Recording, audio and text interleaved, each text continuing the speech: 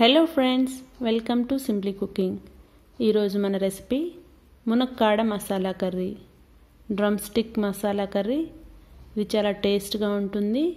చేయడం కూడా చాలా తేలిక. కాబట్టి మీరు కూడా మీ ఇంట్లో ఈ కర్రీని ట్రై చేయండి. ఎలా వచ్చిందో కమెంట్ బాక్స్లో నాతో షేర్ చేసుకోండి. లెట్ స్టార్ట్ ద రెసిపీ దీనికి అరకప్పు టొమాటో ముక్కలు కప్పు ఉల్లిపాయ ముక్కలు రెండు పచ్చిమిర్చి ముక్కలు అల్లం వెల్లుల్లి పేస్ట్ కరివేపాకు పుదీనా రెండు మునక్కాడలు కట్ చేసుకున్నవి. ఒక్కడైలో వేరుశనగ విత్తనాలు తీసుకొని దోరగా వేయించుకోవాలి. మాడకుండా మీడియం ఫ్లేమ్లో పెట్టుకొని దోరగా వేయించుకోవాలి. సువాసన వచ్చేంత వరకు వేయించుకొని అందులోనే ఒక టేబుల్ స్పూన్ ధనియాలు ఒక హాఫ్ టేబుల్ స్పూన్ జీలకర్ర ఒక టేబుల్ స్పూన్ తెల్ల నువ్వులు వేసుకొని వేయించుకోవాలి.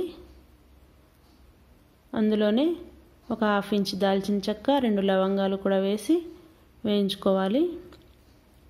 దీని అంతటిని ఒక మిక్సీ జార్లోకి తీసుకొని కొంచెం నీరు పోసుకొని పేస్ట్ లాగా చేసుకోవాలి. తర్వాత ఒక బాండీలో త్రీ టేబుల్ స్పూన్స్ ఆయిల్ తీసుకోండి. అందులో ఒక హాఫ్ టేబుల్ స్పూన్ పసుపు వేసుకొని ఆయిల్లో పసుపు అంతా కలిసే వరకు కలుపుకోవాలి. ముందుగా కట్ చేసి పెట్టుకున్న మునక్కాడలను అందులో వేసుకొని దూరగా వేయించుకోవాలి. స్టవ్ మీడియం ఫ్లేమ్లో పెట్టుకొని దూరగా వేయించుకోవాలి. మునక్కాడలను ఇలా వేయించుకోవడం వల్ల అందులోని పచ్చివాసన పోతుంది. అలాగే మునక్కాడలు టేస్టీగా కూడా ఉంటాయి. కాబట్టి ఇలా దూరగా వేయించుకోండి. మునక్కాడలన్నీ వేగిన తర్వాత ఒక ప్లేట్లోకి తీసుకొని పక్కన పెట్టుకోండి. అదే ఆయిల్లో ఒక హాఫ్ టేబుల్ స్పూన్ ఆవాలు ఒక హాఫ్ టేబుల్ స్పూన్ మినప్పప్పు హాఫ్ టేబుల్ స్పూన్ పచ్చిశనగపప్పు హాఫ్ టేబుల్ స్పూన్ జీలకర్ర వేయండి.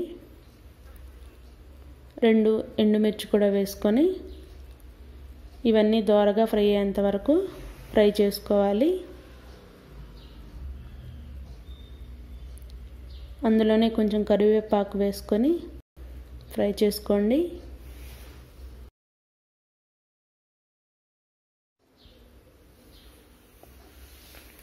ముందుగా కట్ చేసి పెట్టుకున్న ఆనియన్స్ వేసుకొని అవి కూడా బాగా ఫ్రై అయ్యేంత వరకు ఫ్రై చేసుకోవాలి. ఆనియన్స్ ఇలాగా కలర్ చేంజ్ అయ్యేంత వరకు ఫ్రై చేసుకోండి. అందులోనే ఒక టేబుల్ స్పూన్ అల్లం వెల్లుల్లి పేస్ట్ వేసుకొని అది కూడా పచ్చివాసన పోయేంత వరకు ఫ్రై చేసుకోండి.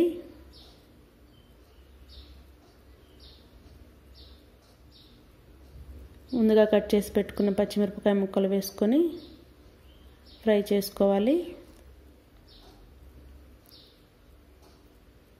అందులో ఒక అరకప్పు టొమాటో ముక్కలను వేసుకోవాలి.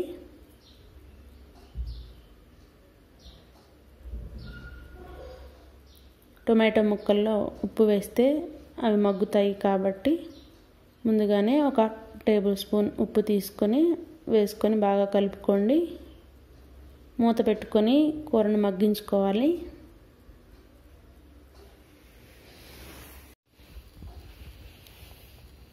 ఇలాగా టొమాటో ముక్కలు అన్ని మగ్గిన తర్వాత ముక్కలు ఏమీ ఉండకుండా ఇక్కడే స్మాష్ చేసుకోండి. ఇలాగ స్మాష్ చేసుకోవడం వల్ల గుజ్జు బాగా వస్తుంది. కాబట్టి ముక్కల్ని బాగా స్మాష్ చేసుకోవాలి.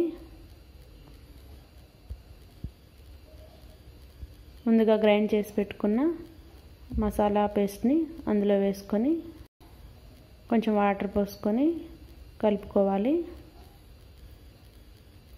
మీకు కూర వాటరీగా రావాలంటే ఇంకొంచెం వాటర్ పోసుకొని కలుపుకోవచ్చు. అందులోనే ఒక పావు కప్పు చింతపండు పులుసు పోసుకోవాలి.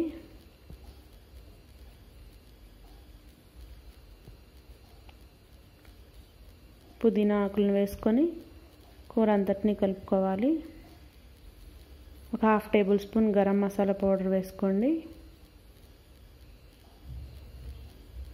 ఒక హాఫ్ టేబుల్ స్పూన్ కారం వేసుకొని బాగా కలుపుకోండి కూరని. పేస్ట్ మరీ థిక్గా ఉంటే కొంచెం వాటర్ పోసుకోవచ్చు. వేయించి పెట్టుకున్న మునక్కాడ ముక్కల్ని అందులో వేసుకొని బాగా కలుపుకోవాలి. కూరని ఇలాగ మధ్య మధ్యలో చూస్తూ ఉండాలి. అంటే అడుగంటకుండా గరిటె పెట్టి తిప్పుతూ ఉండాలి. పేస్ట్ థిక్గా అయిందేమో చూసుకోవాలి. థిక్గా అయితే కొంచెం వాటర్ పోసుకొని తిప్పుకోవాలి. మునక్కాడలు బాగా ఉడికినాయి. పేస్ట్ కూడా దగ్గర పడింది. కాబట్టి ఇప్పుడు మన tasty drumstick masala curry ready అయిపోయింది. దీన్ని కొత్తిమీరతో గార్నిష్ చేసుకొని సర్వ్ చేసుకోండి. మా వీడియో మీకు నచ్చిందా? అలా అయితే లైక్ చేయండి షేర్ చేయండి. ఈ కర్రీని మీ ఇంట్లో కూడా ట్రై చేయండి. సబ్స్క్రైబ్ చేయడం మాత్రం మర్చిపోవద్దు. Thank you for watching this video.